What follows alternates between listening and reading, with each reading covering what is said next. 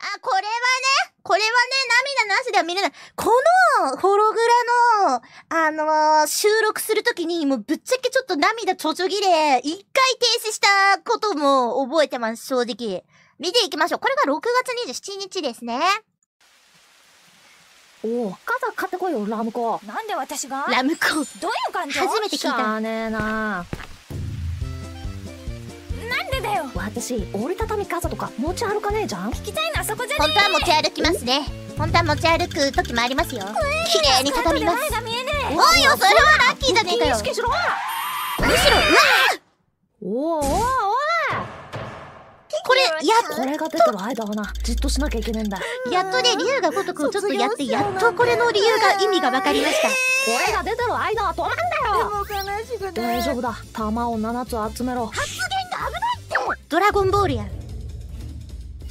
覚悟せーい！やいや、怖い！おめえ、どこの組のもんじせめてせめてドアの手で卒業させてあげたくて。が首突っ込んで、ジャーンと人生からの卒業させる。お前らがしゃべんなおめえも十分行かれてんのよ。ところで、その単行部どうしたさっき車にはねられたのな。病院連れてけよ！こんな頑丈な女がはねられた程度に怪我するわけないのな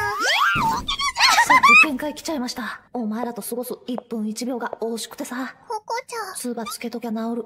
治るわけねえだろ。はいな、なんだこれ。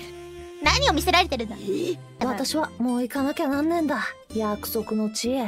ここちゃん私と過ごした1年半。一どうだった？年半か短いね。最高に楽しかったよ。全然退屈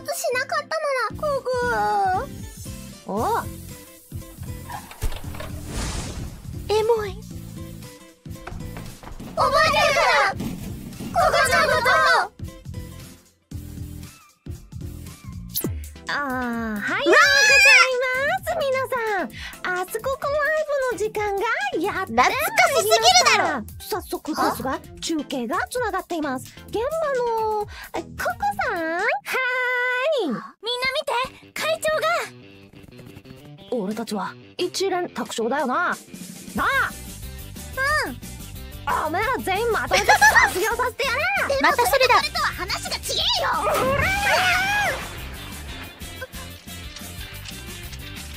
お金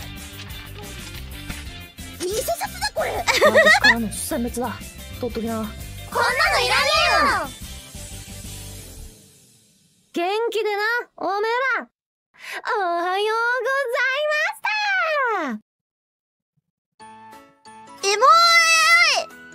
これはねこ、これめっちゃ覚えてるよ僕さすがに。これ撮るときに、さっきちょっと涙が出ましたみたいな話したけど、これはね、あのね、僕、なんかね、実はずっと卒業の、なんか、卒業受け入れて前向きに楽しく、あの、送り出そうって思ってたんだけど、全然実感がどっかでなくて、このホログラ撮った時にめちゃめちゃね、なんか実感したんだよね。あ、もういなくなるんだ、みたいな。いや、めっちゃ覚えてる本当に。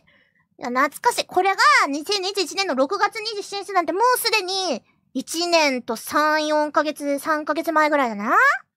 懐かしいなぁ。